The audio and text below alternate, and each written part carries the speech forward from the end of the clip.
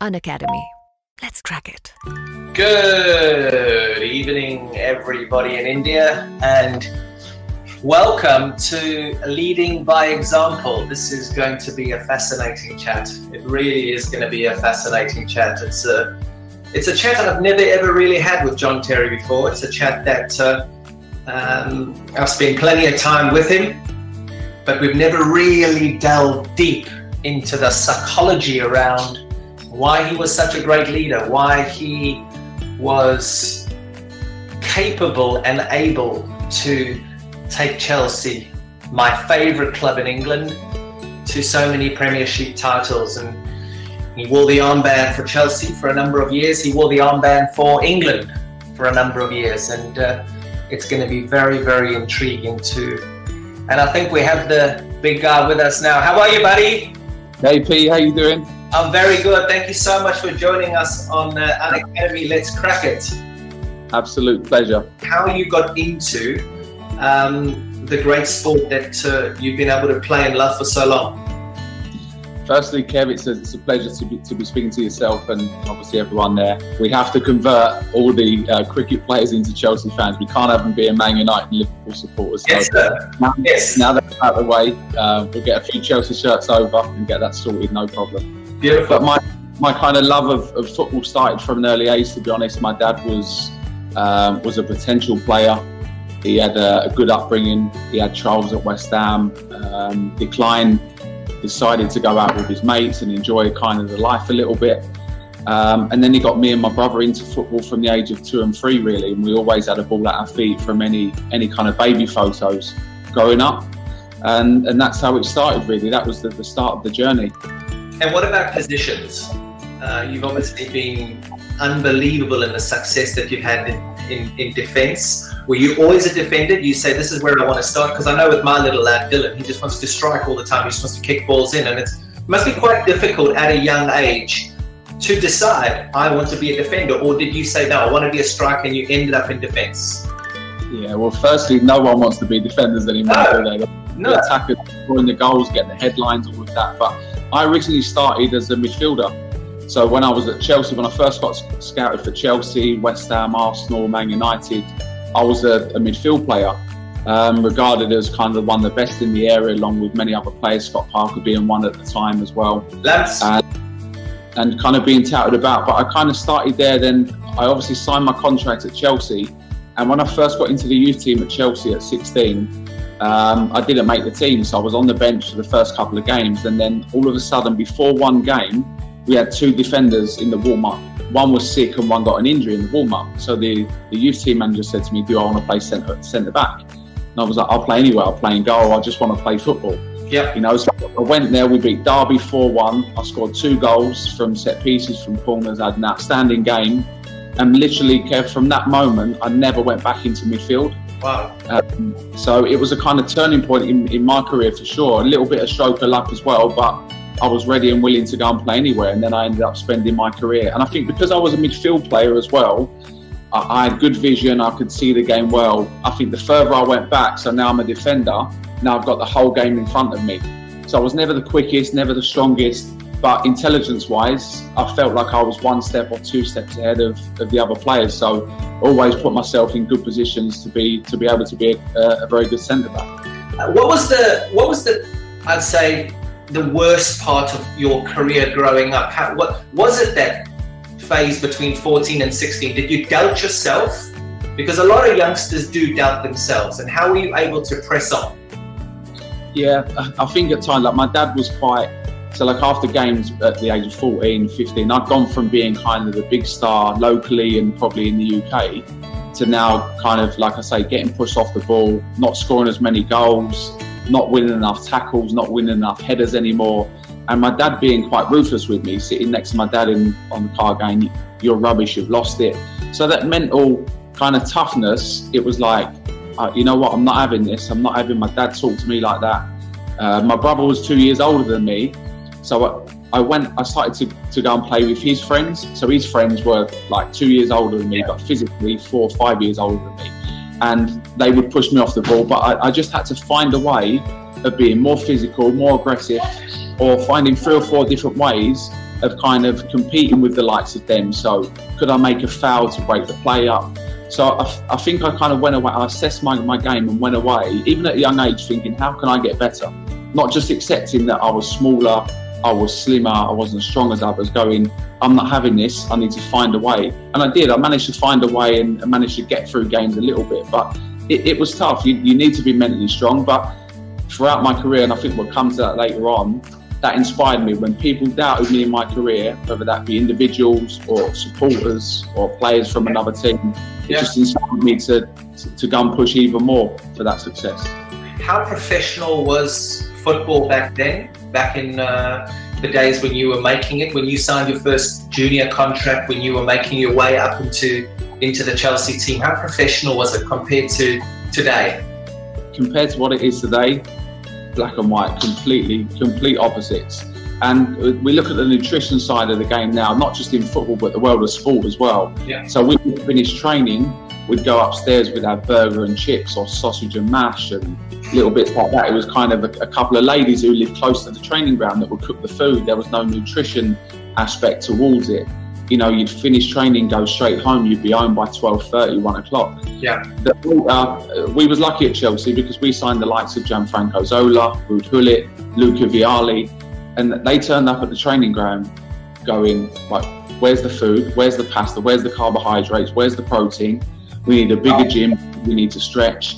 And they took it to another level. And I was really lucky at that, at that stage of 16 to be in an environment and around these players. Wow. And also close to them, Kev, as well. So as a 16, 17 year old, you're cleaning players' boots, you're making up coffees, you're cleaning toilets.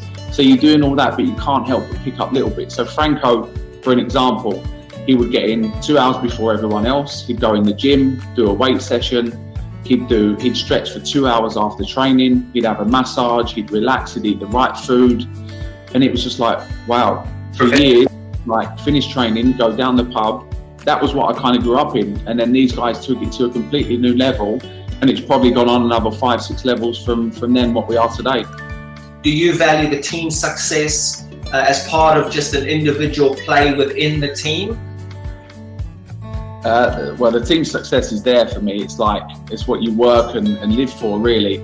I think you only get the individual honours if you're performing as a team. So I look at every kind of individual honour that I won, and I genuinely I couldn't have done it without the players around me. Mm. So it's not just me being in the right position, it's my left back, Ashley Cole, being in the right position, helping me as a centre back. It's about Makelele being just in front of me that I get protected a little bit. It's about Frank working box to box. So again, there's some unbelievable individual honours there for me, but I always look at those collective and those team ones and those memories that you're never going to get again, you're never going to replicate. And those moments before the game, after the game, the celebrations that come with that, are just you know memories for a lifetime. Why is it that it's so difficult for England to perform at big tournaments? What is what is the issue? Is, it, is there so much rivalry between uh, and I know how much rivalry there is because I'm mates with quite a few of you. And yeah. it's difficult. How can you? I mean, it's, it's hard for me. I mean, how can you play Man United versus Chelsea on a Sunday night, Sunday night football? You are going hell for leather. Or say Liverpool versus you guys, Lampard and Gerrard trying to kill each other to win this game. And then on a Monday morning, they're going to turn up at the road up the road here at. Uh, um, Stoke or Stoke Park or where it was. Hey, good morning. I mean, uh, how are you, mate? Everything fine? When the headlines are blowing up while you guys are trying to say hello to each other. It was difficult, and it's obviously the big question mark, isn't it? Over the years that we've we look back and go, how did we not win anything with the team we had back in 2004, 6, 8, 10, all yeah. of them. So it, it's a tough question. I, I think my only answer on that would be that, like I said before, we're with each other on a with Chelsea or Man United on a daily basis for 320, 330 days of the year. With England, you get 10 days if you're lucky to yeah. kind of automatically. By the time you kind of get used to each other and you find your feet a little bit within that group, it's time to go back to your clubs. But the, the one thing that kind of always disappointed me was those kind of tournaments. And it was, and, and the FA was a little bit reluctant, Kev, on this as well, because as as a group of players on a Monday to Friday, you don't need to tell John Terry what to do because if I want to play golf on the Tuesday or the Wednesday and I've got a game on the Saturday, I know exactly what works for me and my body. So Yeah. now you go into a different environment where they go, you can't play golf, you can't go to the cinema, you can't go for a coffee, and you're in this little room, probably like you guys get. You're in a you're in a hotel room from like one o'clock till seven o'clock, thinking I've got dinner in six hours, Yeah. and then dinner, then you have a massage, then you go to bed, and you just repeat the same stuff over and over again. I would have I would have liked to have taken responsibility of going. I know what works for me on a daily basis. So if the lads want to play golf or want to go out of our kind of environment, Yeah. shopping centre, just to stretch your legs and see people and, and be normal. You know, let us do it and trust us. But we never kind of got that balance. I think it's different now under Southgate. Everything I hear about Southgate is incredible. The way he involves the players, he gives them a voice, he lets them lead a lot of the, the training, the meetings, really makes them inclusive in that. And I think that's a big part of it, especially with the new generation, how they are. Not at all. Your last 26 minutes in uh, jersey number 26, that was, I mean, I remember watching it, that was proper emotion. Yeah, it was. I didn't play that season because obviously Conte come in. We went to a three at the back, um, and it, I was kind of coming towards the end of my career as well. But we'd kind of won the league, which was fantastic for me because I got to get the send off that that I always wanted. If I was ever to leave Chelsea, I wanted to have a proper send off, and I definitely got that. Yeah. And Antonio was brilliant with me. Gaz Cahill was excellent because we had a final two weeks' time after that game.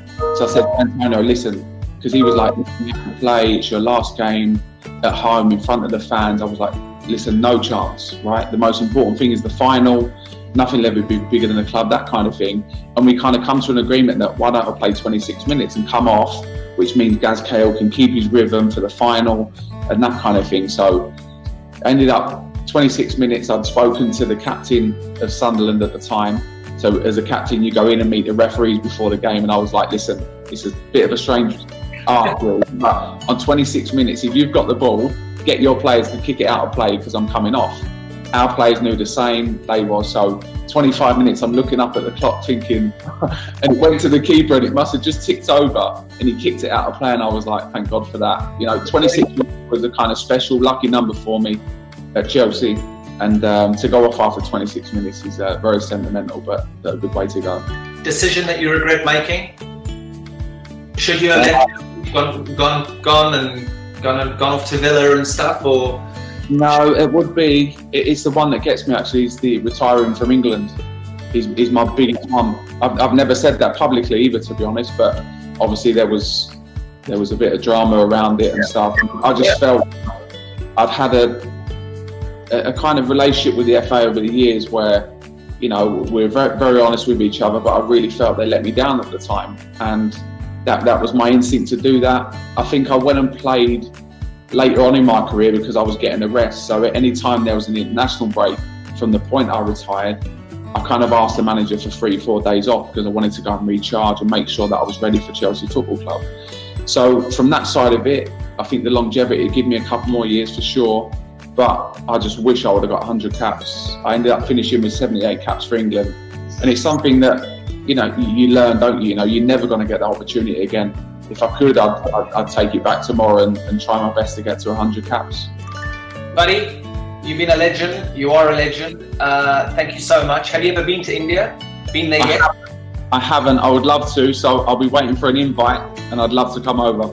100%. We'll get that done, mate. Thank you so much for being so open. Uh, You and and uh, yeah, I wish you every success for um, for for your coaching career. I know you're trying to make it into the coaching world, um, and I think everybody watching this would like to thank you. And uh, I think you've been absolutely spectacular, buddy. Thanks, mate. Thanks, Kev. You're welcome. Thanks, guys. Cheers, JT. Bye, bro. Bye bye. Thank you.